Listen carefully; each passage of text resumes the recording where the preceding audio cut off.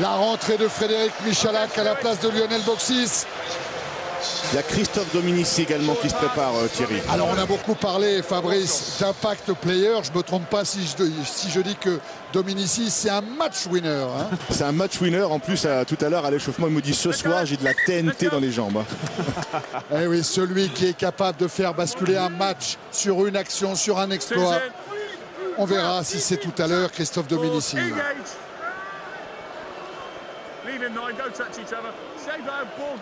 Allez, la sortie euh, vers Traille, qui a pris, qui a passé les bras pour Frédéric. Michalak. Va chercher, qui a du monde à l'extérieur avec Evans, qui va retrouver Josion. Ouais. Josion en terre promise.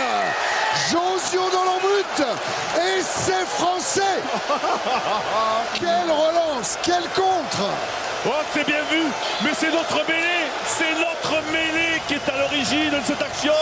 On a tourné du bon côté pour libérer Harry Nordoki qui est allé envoyer. Voilà, voilà quand on passe physiquement comme au trail et qu'on arrive avec la fraîcheur d'un Michalak qui retrouve à l'intérieur Josion.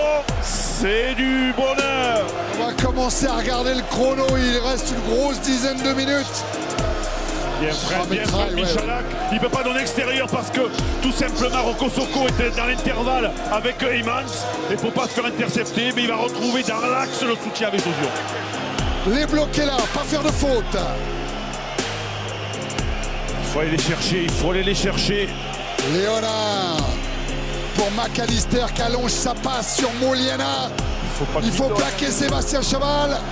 Voilà, ils sont Voilà, dans la moitié de il est chez nous. Il est chez nous, monsieur l'arbitre, il la garde. Lâchez-la. Là la balle, là la balle. Non. Ah, et le ballon qui revient aux Néo-Zélandais. Avec McAllister, lui c'est un danger. hein. Soyalo pris par Harry Nordoki. Léonard Le, voilà, le ballon, le ballon. avec arrache. Or maintenant. Ouais, il est là le ballon. Elissan, c'est fini. Il faut aller jouer en touche, Jean-Baptiste. C'est ce qu'il fait. La France est en demi-finale de la Coupe du Monde de rugby. La France jouera contre l'Angleterre samedi prochain au Stade de France. La désolation du côté de Graham Henry. La joie d'Imanol Harry Nordoki, de Rouget, d'Evans, de Dominici.